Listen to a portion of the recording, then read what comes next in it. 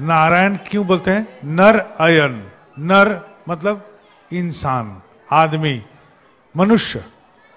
ये मनुष्य जिनको पकड़ने से हम सच्चे मनुष्य बन के रह सकते हैं, वही है नारायण। नारायण मतलब जिनको पकड़ के हम मनुष्य बन के रह सकें क्योंकि इंसान के खाल में हम कभी कभी ऐसे गलत कदम कर लेते हैं जो उचित नहीं है। मनुष्य रहने के लिए ठाकुर जी बोल रहे हैं, मान एवं होश। होश मतलब चेतना। मान मतलब मेरा अस्तित्व। मुझे यदि हम पिंच करते हैं तो हमको दुखता है। मच्छर काटता है तो खुजलता है हम। सांप काटेगा तो हमको जहर फैल जाएगा, डॉक्टर के पास जाना पड़ता है। तो इस शरीर को ठीक रखने का इरादा है। अस्तित्व कायम रखने का इरादा है। अस्तित्व कायम जो रखते हैं, क्योंकि मेरे पास मान है। मेरा अस्तित्व है। ये अस्तित्व को कायम रखने के लिए हम बहुत सारे काम करते हैं। जैसा कि मेरा सबसे पहला सोच क्या रहता है? ज़िंदगी आने के बाद भूख। भूख, क्योंकि बच्चा जब पैदा होता है, जीप से वो जताता है, मैं भूखा हूँ। वहाँ वहाँ करके रोते ही है। और माँ उसको अपने छाती में समेट के दूध पिलाती है। वह है पहला कदम मेरा, भूख। भूख मिटने के बाद मैं बचे रहूँगा। कैसे बचे बचेगा? माँ हमको सहलाती है, पिताजी हमको सपोर्ट देते हैं। ऐसे करके हम लोग बचते हैं। यह है अस्तित्व रक्षा। अस्तित्व रक्षा, अस्तित्व का पुष्टि माँ का दूध से मिलता है। फिर थोड़ा सा बड़ा होते हैं तो माँ पिताजी हमारे खाने का बंदोबस्त करते हैं। दिमाग की विकास के लिए विद्या की व्यवस्था होती है। ऐसा करके हम लोग आगे की और कदम के कदम आगे बढ़ते हैं। और एक दिन ऐसा होता है कि मैं अपने जैसा एक सृष्टि करूँ, ऐसा इच्छा होता है। यह है संवर्धन। जैसा कि मेरे अवस्था बहुत खराब है। तो देखते हैं, हम एक बार मेरे क्लास टेन वाला परीक्षा जब हुई थी तो हमको जाना पड़ा था चित्तरंजन बोल के एक नगर है। वहाँ रेल कॉलोनी था, वहाँ हमको परीक्षा देना पड़ता था। वहाँ देखते थे अपर ग्रेड जो स्टाफ लोग रहते हैं, वहाँ कोई बच्चा नहीं दिखता था। फिर सेकेंड ग्रेड में दो चार दिखता था। और जो लोअर ग्रेड में चला जाता तो बहुत सारे बच्चा। तो हम सोचते थे कि तभी से ये क्यों ऐसा है? तो देखे, ठाकुर जी ऐसा बोल रहे हैं, जिसका पुष्टि, रक्षा दमित हो जाता है, उन लोग का संतान बढ़ता है। ठाकुर जी से पूछा गया, यदि हम लोग को संख्या में घटाना है तो क्या करना है? तो लॉन्जिबिटी को बढ़ा दो। संख्या में ऐसे ही घट जाएगा। ठीक है? तो ये था मूल विषय कि संपोषण, संरक्षण और संवर्धन।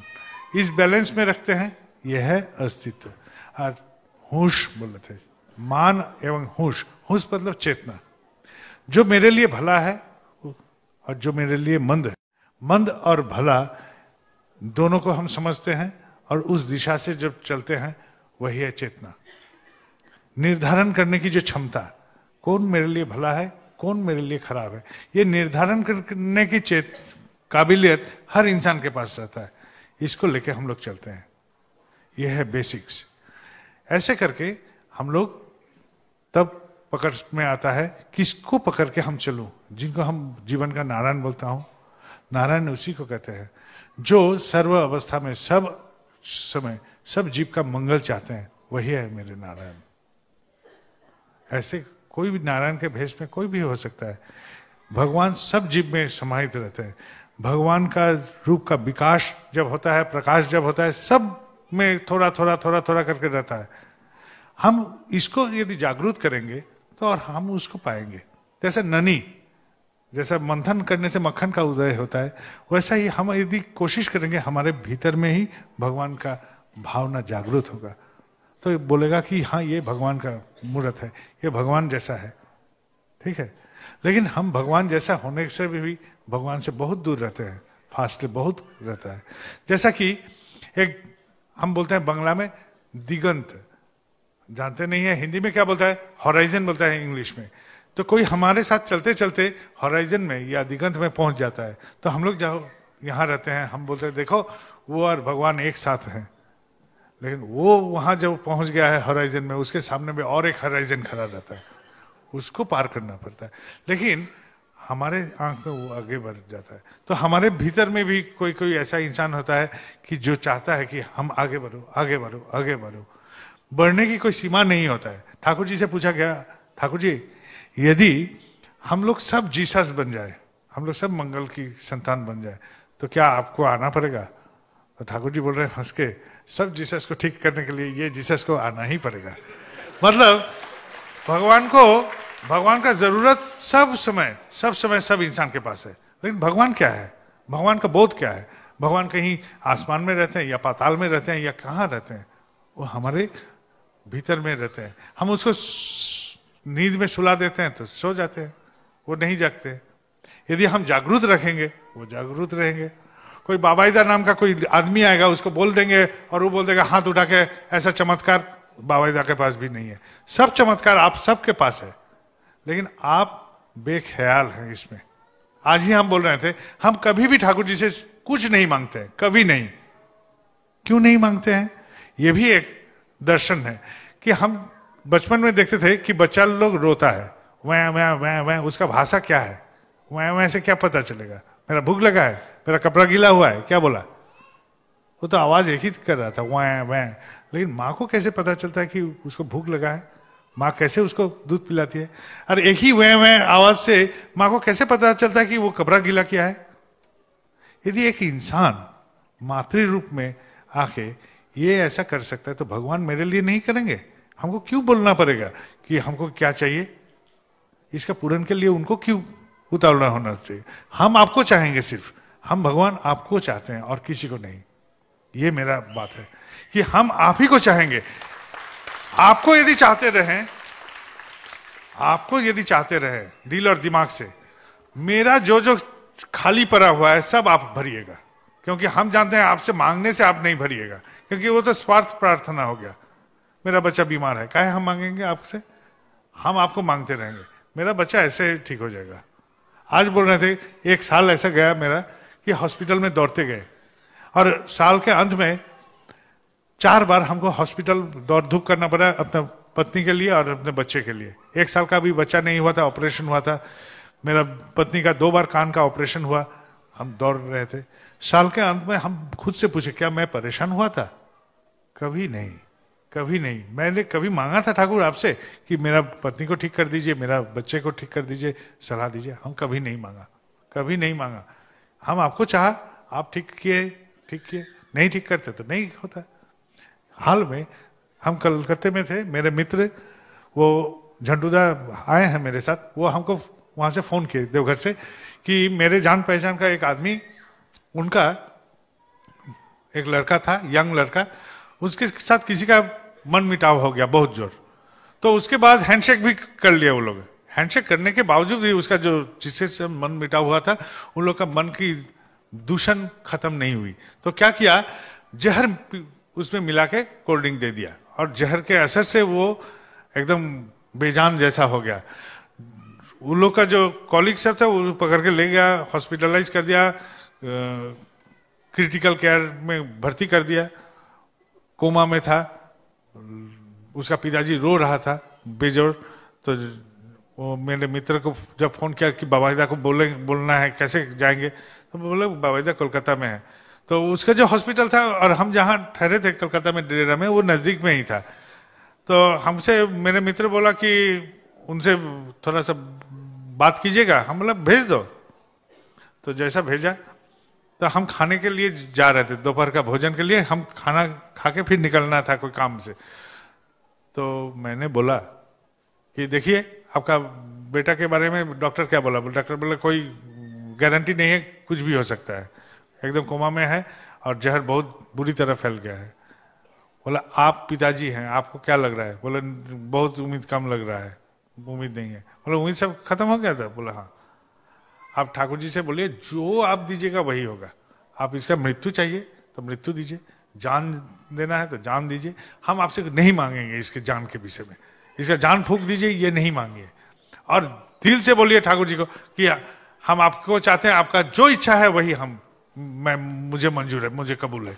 शाम को वो फ़ोन करके बोल रहा है कि माँ उठ गया, बच्चा खड़ा होके बोलता कि माँ, मुझे भूख लगा है, कुछ खाने दो। कोमा में था, वो उठ के खड़ा।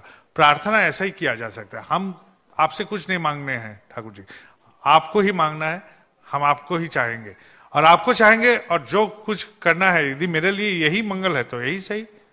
मेरे अभी पेट दुख रहा है, यही यदि मेरा मंगल है तो यही सही। मैं क्यों बोलने जाऊँ? आप तो मेरा नौकर नहीं है, मैं आपका सेवक हूँ। आपका कोई काम अधूरा है तो मुझे करना है। आपको क्या महसूस होता है ठाकुर जी के बारे में? वही आपका ठाकुरत्व यही आप सोचिए। यदि हम के साथ किसी का मन मिटाव होता है तो मन मिटाव क्यों हुआ? मैं मेरे जैसा व्यवहार किया, इसलिए मन मिटाव हुआ। मेरे से किसी का दुश्मनी मोड़ गया, क्यों हुआ? मैं मेरे जैसा व्यवहार किया, लेकिन उस व्यवहार पाने के बाद ठाकुर जी क्या व्यवहार देते उनको? ये सोचना ज़रूरी है। और ये सोच कीजिए और वैसा आप प्रकाश कीजिए।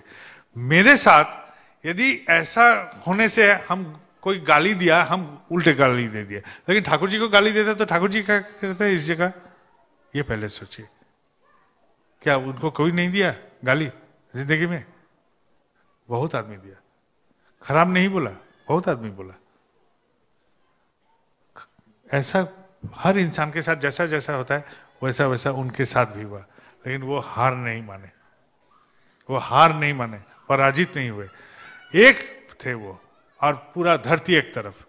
पूरा धरती एक तरफ़ और वो अकेले। और अकेले रह के जो विश्वास का डोर पकड़ के रखे थे, उस डोर में आज हम इतने सारे हैं। इस नगर में, हर नगर में, हर जगह में। लेकिन विश्वास का गहराई उसी से मापा जाता है।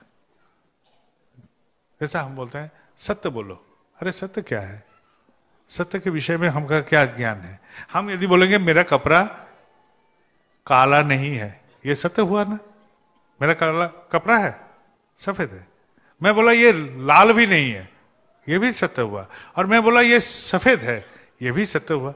तो तीनों तो सत्य बोले तो कौन सत्य को पकड़ेंगे? इस सत्य के ज्ञान के लिए ही गुरु को पकड़ना ज़रूरी है। और ये गुरु ज्ञान हमको एक से दूसरा दूसरा से तीसरा, तीसरे पायदान से चौथे पायदान करके आगे की और ऊपर तक ले जा सकता है। हम जिस इंसान में थे, उस इंसान से बेहतर इंसान में प्रकट हो सकता है। क्योंकि विज्ञान बोलता है, संघात के बिना विवर्तन नहीं होता है इवोल्यूशन पहले हमारा पूछ था, संघात आया, परिवेश से, समाज से। परिवेश, समाज से होके हम आज इंसान होमोसेपियंस में बदलाव में आए। और जो मैं हूँ वैसा ही रहूँगा, ज़िंदगी भर। इसमें बदलाव नहीं आएगा। जब तक ना आउटरली कोई फोर्स डाला जाएगा, ये भी न्यूटन का एक, विज्ञान का एक नियम है कि जब तक इसमें बल प्रयोग नहीं होगा, जो जैसे हैं वैसा ही रह जाएँगे। मेरे परेशानी है, परेशानी में ही रह जाएँगे। मैं खुशहाली हूँ, खुशहाली में रह जाऊँगा। मेरे पास पैसा है, लेकिन अशांति है, वैसा ही रह जाऊँगा। जब तक ना बल प्रयोग होगा उसमें बल प्रयोग क्या? गुरु बल गुरु बल का प्रयोग कीजिए, ज़िंदगी में हर में पर बदलाव आएगा। सब चीज़ में बदलाव आएगा। और हम जो बोले विश्वास विश्वास उसी में हो सकता है जब आप बोलिएगा। ठीक है? बोलते बोलते बोलते बोलते बोलते बोलते एक दिन ऐसा होगा, विश्वास हो जाएगा। विश्वास आप कायम कीजिए। आप जो भी बोलेगा ऐसा ही होगा। मेरे साथ आए हैं अनिल धोसिया नाम का एक लड़का।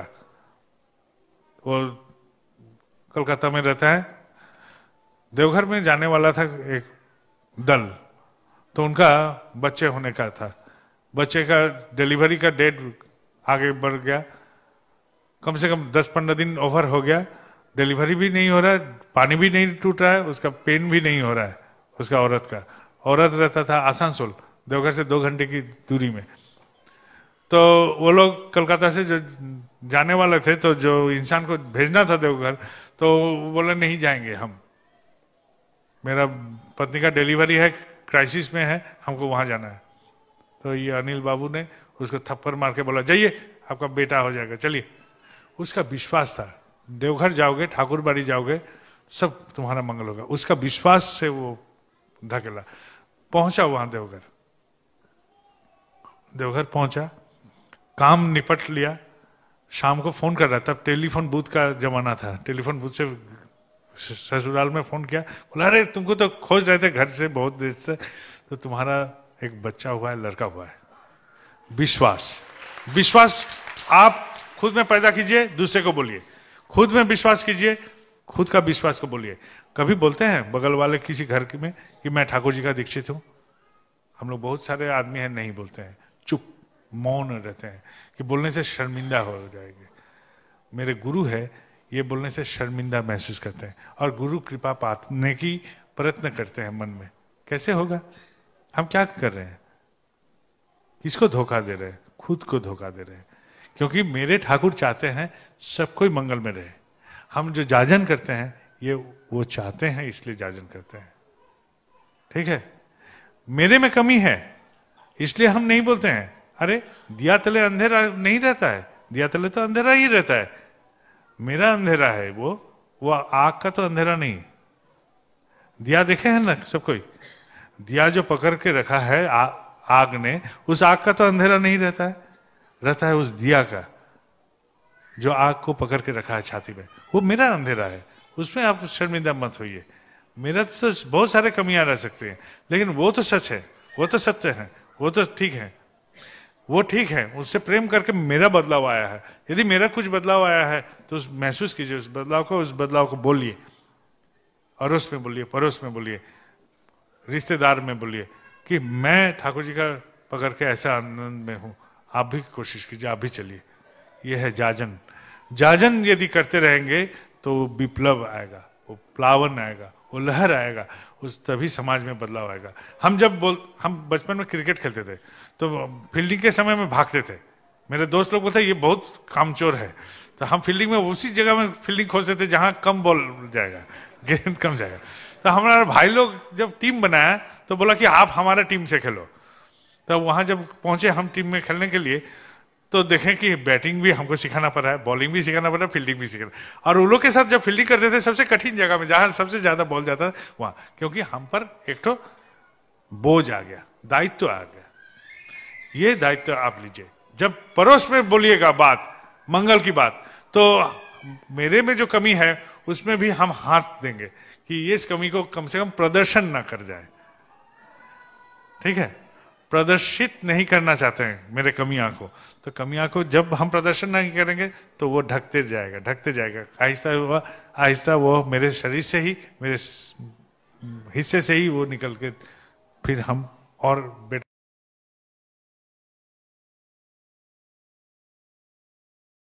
इंसान में बदल जाएँगे। कोई बाबा इधर नाम का कोई जादू नहीं है। ना कोई आसमान में कोई ठाकुर जी रहते हैं। जब तक ना हम उसको पकड़ लेंगे तो कोई ऐसा नहीं आएगा। ठीक है? कैरी पेकर का नाम सुने हैं कोई कोई? जो एक दिवसीय क्रिकेट में बदलाव ले आए थे।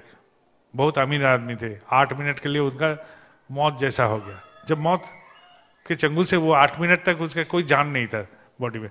और जब निकल के आए तो वो संवादिक सब थे, न्यूज़ वाले सब थे तो बोला कि बहुत आनंद की बात है कि वहाँ कोई नरक नहीं देखा।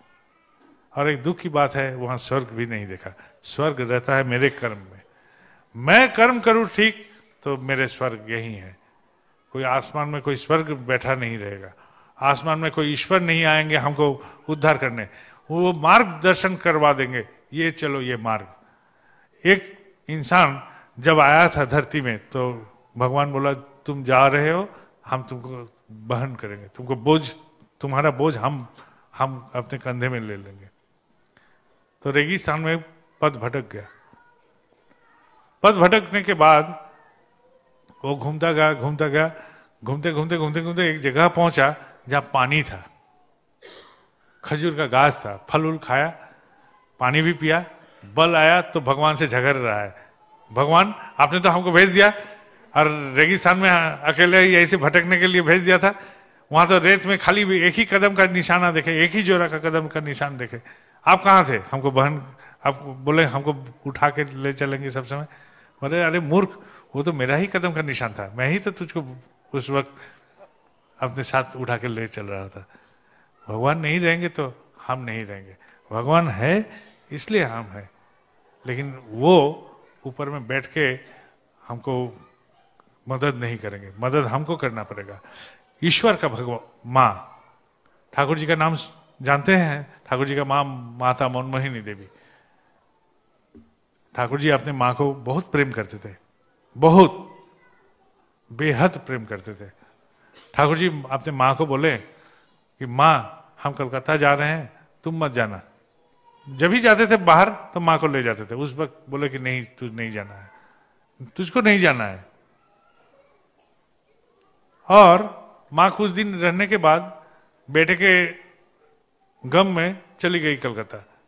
और जैसे कलकत्ता गई, ठाकुर जी एकदम रोना शुरू कर दिए, तू क्यों आई? तू क्यों आई? तुझको तो आना नहीं था, तुझको तो हम आने मना किए थे। अब हम क्या करें? अब हम क्या करें? बहुत प्रलाप कर रहे थे। दुखित हो गए। माँ का दो तीन दिन में ही बीमार हो गया। और उस बीमारी के क्रम से पावना पहुँचे, उनका देहांत भी हो गया। भगवान भी अपने माँ को रक्षा नहीं कर पाए। यदि उनका अनुसरण न करे तो कोई रक्षा नहीं करने वाले हैं। उनका पथ, उनका राह, वो कबूल कीजिए। सब हम लोग कबूल किए हैं। जो लोग कबूल किए हैं, उस राह में चलते रहिए। आसपास में बोलिए, सबको जाजन कीजिए। ठाकुर जी की बात को महसूस कीजिए खुद। तब आके आप लोग सब मंगल में पहुँच पाइएगा।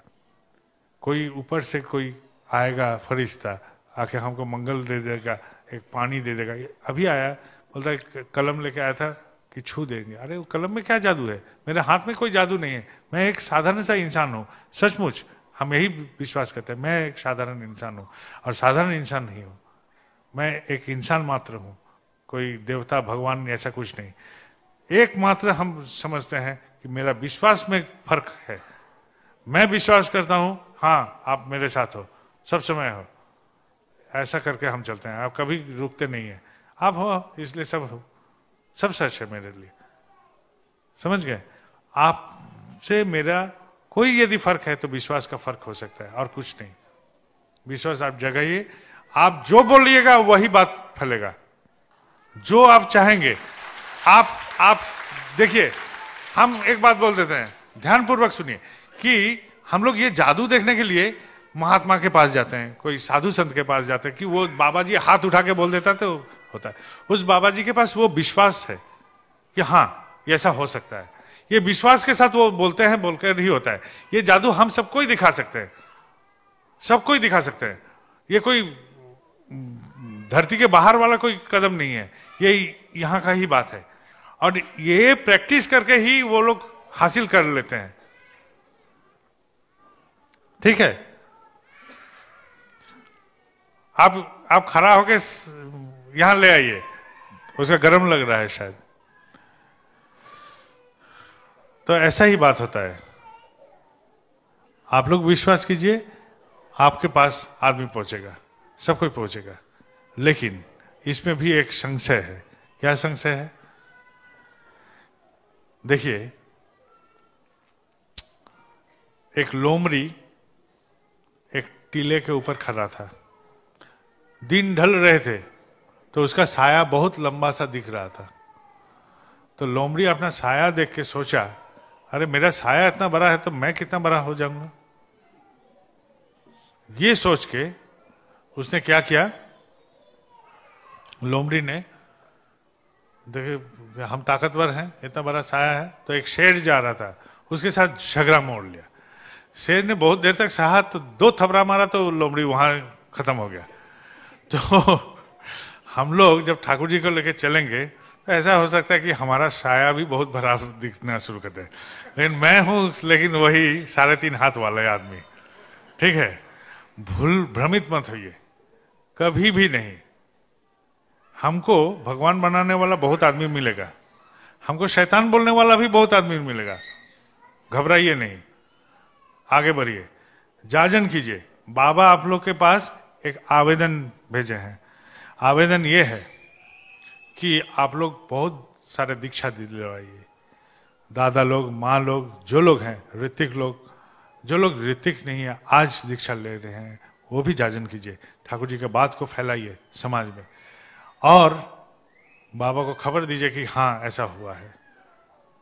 ठीक है? असंभव सोचिएगा तो कभी नहीं होगा। एक ननी का घरा था।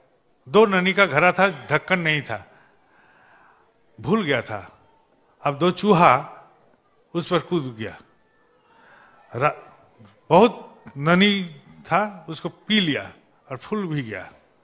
अब फूलने के बाद, निकलने के जब क्रम आए तो वो उठ रहा था और गिर रहा था। उठ नहीं पा रहा था। तो एक ने सोचा मैं जो पी लिया हूँ और अमृत लेकर ही यहीं से गुजरता हूँ वहीं डूब गया, मर गया। और दूसरा सोचा, मैं कोशिश तो करूँ, उठ रहा था और गिर रहा था, उठ रहा था और गिर रहा था, उठ रहा था, गिर रहा था, रात भर उठता गया, गिरता गया। और उस उठने, गिरने के क्रम में ननी में मंथन होना शुरू कर दिया और ननी मक्खन में बदल गया। सुबह हुई तो मक्खन थोड़ा सा हार्ड हुआ था, उसमें चढ़ के वो निकल गया। हम लोग से संभव नहीं है बोल के हाथ उठा लेंगे तो है। दूसरा वाला चूहा जैसा हम कोशिश कर सकते हैं, उस ननी को मक्खन बना के फिर उस पर चढ़ के निकल जाए। उपाय है, सामाजिक, कोशिश कीजिए, ज़रूर होगा। और एक बात बोलते हैं, एक अंधा था, आचार्य देव की एक घटना बोलते हैं, एक अंधे का घटना। उसका संसार में कोई नहीं था, बस अपना पत्नी था, वो थे और दो बेटी थी जिनको शादी देना था। पैसा नहीं था। खाने, दाने, पानी का भी पैसा नहीं था। घर के पिछवाड़े में उसका पकवानी करने का एक बंदोबस्त था। वहाँ उसका पत्नी एक दिन जो भी मिला था उसको पका रही थी। पकाने के क्रम में ऐसा हुआ तो घर से कोई आवाज़ आ रहा है। उसके पति के साथ कोई बात कर रहा था। तो पति के साथ जो बात कर रहा था, पति अंधा था तो देखा खिड़की से कि बहुत सुंदर एक मनुष्य खड़ा है वहाँ, और पति को क्या क्या सब बोल रहे हैं। तो वहीं से एक कपड़ा का था बोला कि आप बैठिए इस पर। बोले, खिड़की से हाथ ऐसे घुसाया तो वो आदमी गायब हो गया। तो पति से पूछा कि क्या वो आदमी कौन था? बोला, क्या मालूम, नहीं मालूम। लेकिन वो आदमी हमको बोला कि तुम काम शुरू कर दो। वो क्या करता था? गगरा बनाता था। वो डिज़ाइन वाला गगरा होता था। हाँ हम लोग कांसा बोलते हैं बंगला में। तो शायद आप लोग भी कांसा ही बोलते हैं। तो कांसे के गगरा बनाता था डिज़ाइन वाला। तो वही बनाना शुरू कर दिया। अंधा था, लेकिन काम जानता था वो। उसी से बनाते गया। बहुत बिक्री हो गया। दोनों बेटी का भी शादी तैयार हो गया। दोनों बेटी का भी शादी हो गया। अब ठाकुर जी की दया से इतनी सब प्राप्ति हुआ तो चलो गुरु स्थान में चलते हैं, गुरु प्रणाम करके आते हैं। तो ठाकुर बाड़ी में गया, ठाकुर बाड़ी में प्रणाम किया।